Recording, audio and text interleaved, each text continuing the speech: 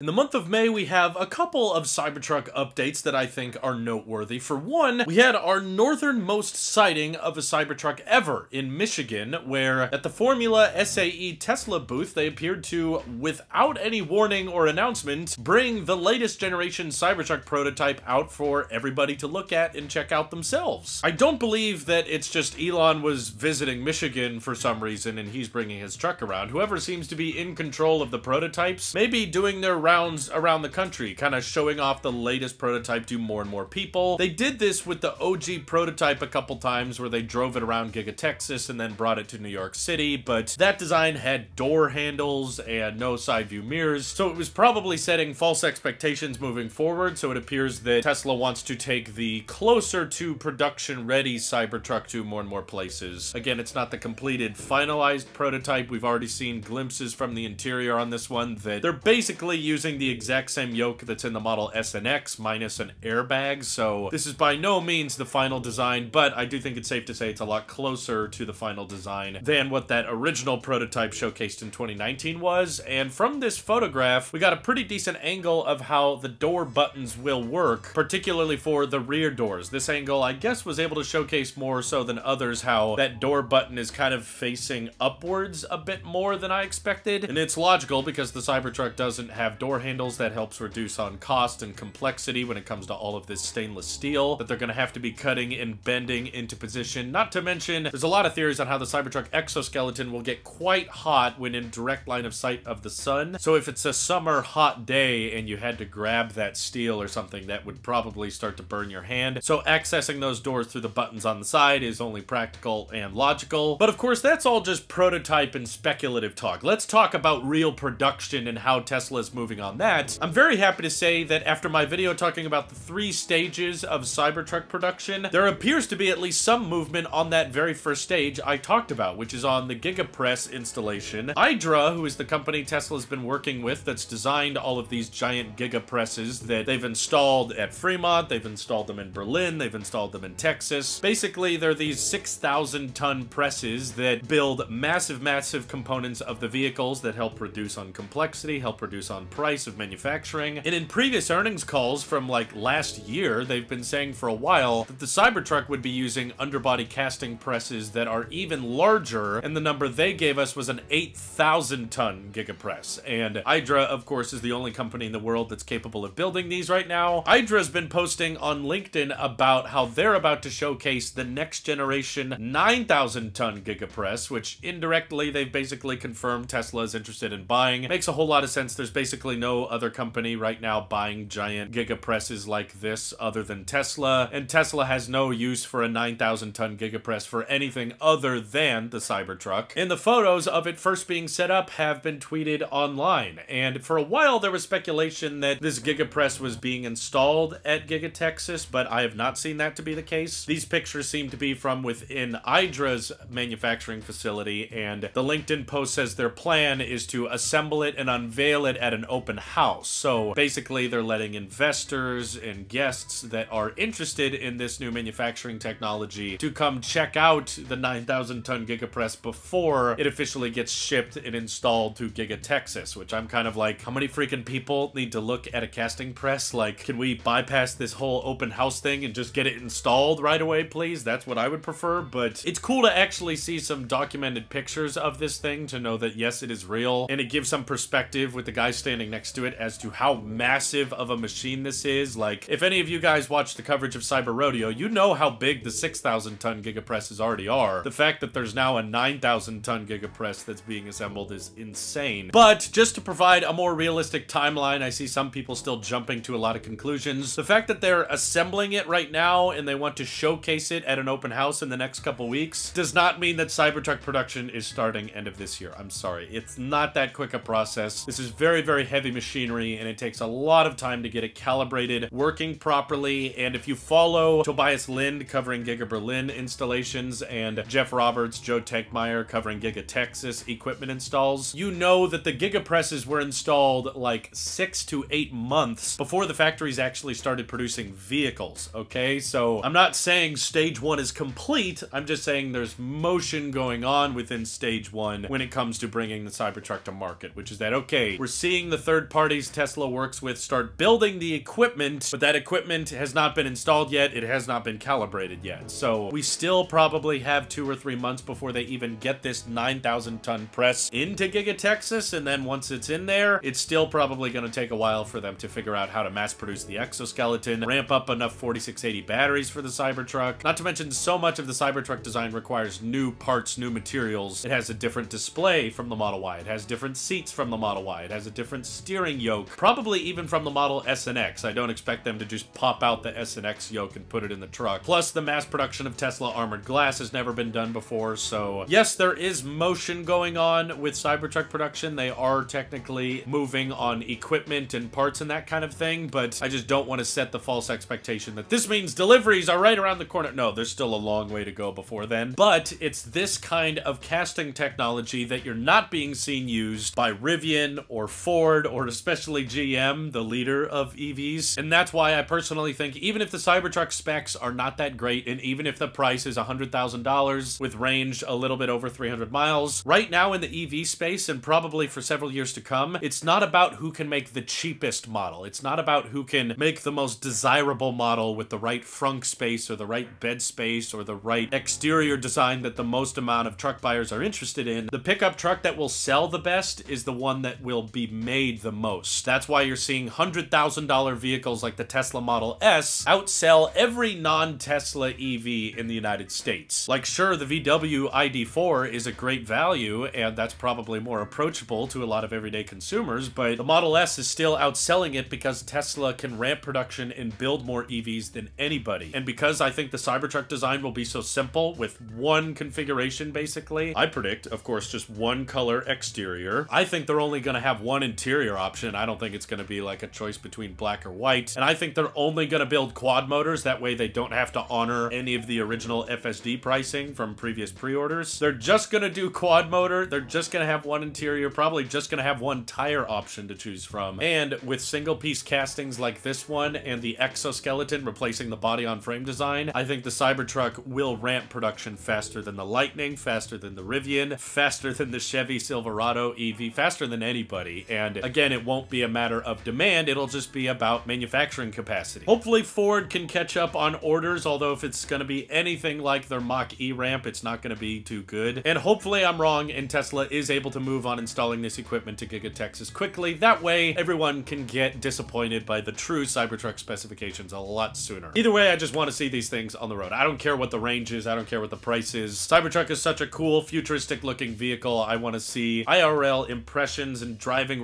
And of course, I want to check one out myself. So let me know what you guys are most looking forward to when it comes to the Cybertruck hitting the market down below. Thank you to everyone supporting this channel over on Patreon. Seriously, helps us out a ton, as does just watching these videos. So thanks again. Take care. Have an excellent rest of your day.